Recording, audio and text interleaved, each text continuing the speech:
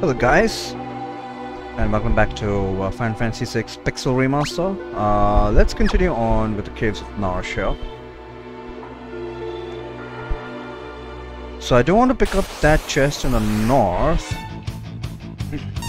But this one, uh, the one to the left is going to be useful. It's going to have a sleeping bag.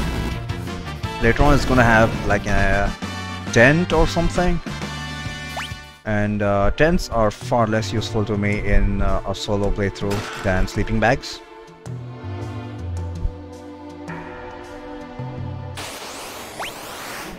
Oh no. But it's fine, uh, she's gonna become unconscious pretty soon anyway. Forgot to remove her shield, but it is what it is.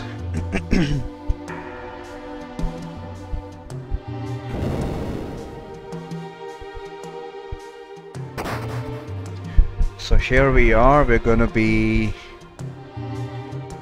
using Locke and a whole bunch of Moogles to save Terra.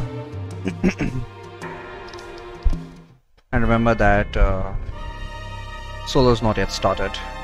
Because I found that if I, if I try to solo this part with the Moogles, it's, it's very difficult because uh, there are a couple of enemies which use Snowstorm and uh, those those dogs hit pretty hard as well.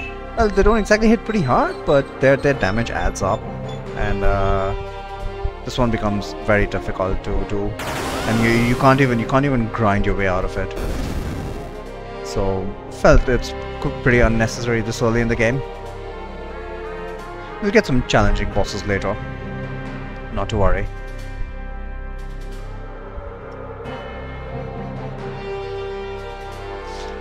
Oh, hello, hello. So there's Terra, Celes, General Leo, and Kefka. Alright, so in this version, uh, they don't do that uh, salute. And Terra's just standing there. Why is there no slave crown on her head?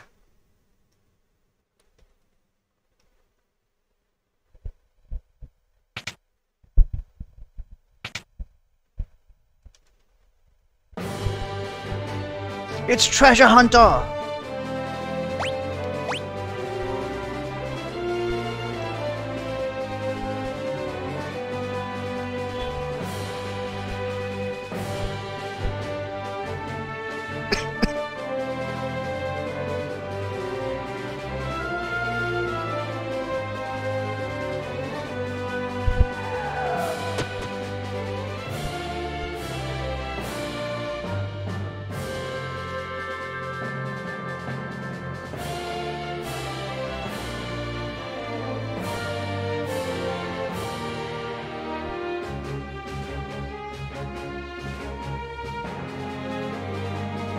Alright, so we're going to be dividing up into three teams. What I'm going to do is uh, I'm going to take all the regular encounters with uh, the nameless group of Moogles, the unimportant group of Moogles, and then take on the boss with uh, Mog's team.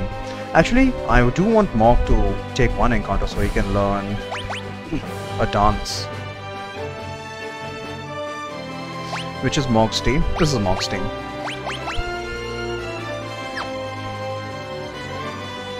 Damn it, Locke, get out of the way! Alright. Mog, you're up. And we can dash here! That's... yeah, that, that is uh, very useful.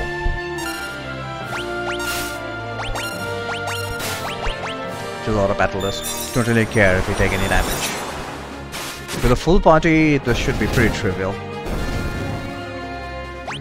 Alright, learned Requiem. So let's get him out. And the third group of Moogles. It's okay, everyone can stay in the front row. These guys are going to take the bulk of the action here.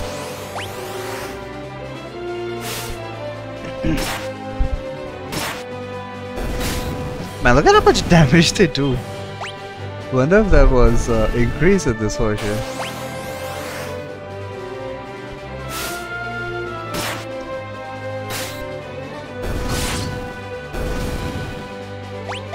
think these guys can take out the boss too. And it feels like reduced the number of encounters here.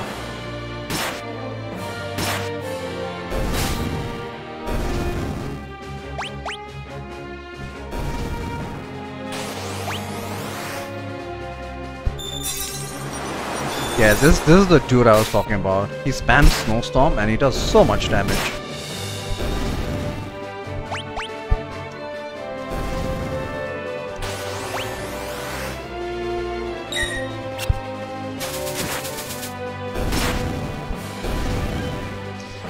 Alright, let's get Morgan.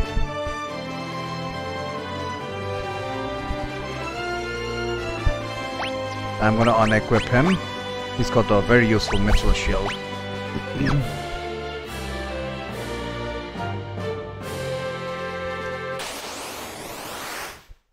we get boss music? I don't remember boss music for this.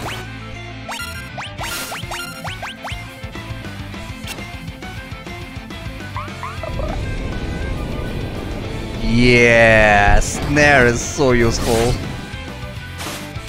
How frequent is it? Can we snare the boss?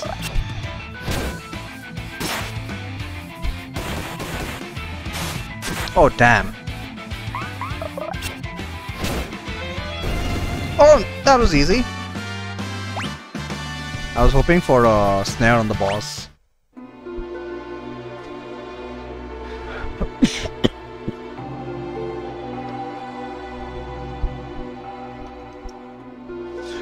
There we go. The sequence uh, was easy enough.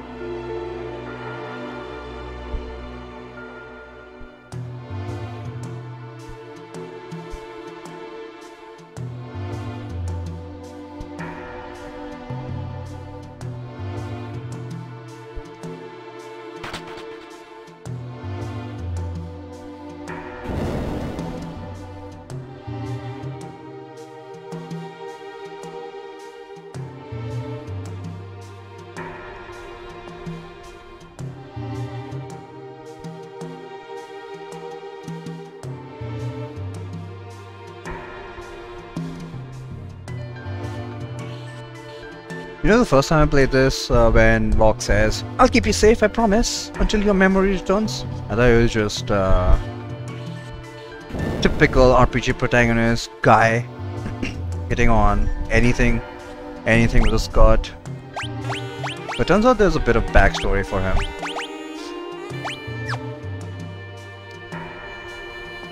So I like that. I mean, still no excuse, but at least he's got plausible deniability.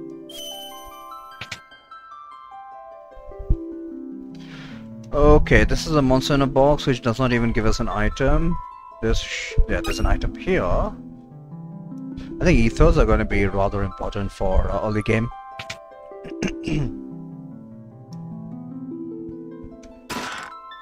Not a sleeping bag, useful.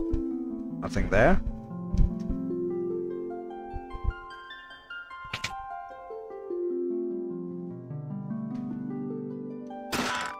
Potion. Nothing there, okay. So let's get out and the first thing I need to do is kill off Locke. So for this part, uh, Terra's gonna be solo.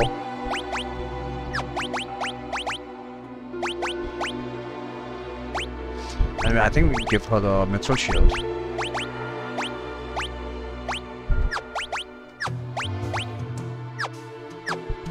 Everybody's fully healed up.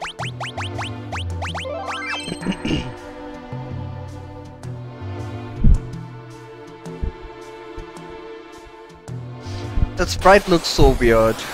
I don't know why. She seems to have overly large shoes.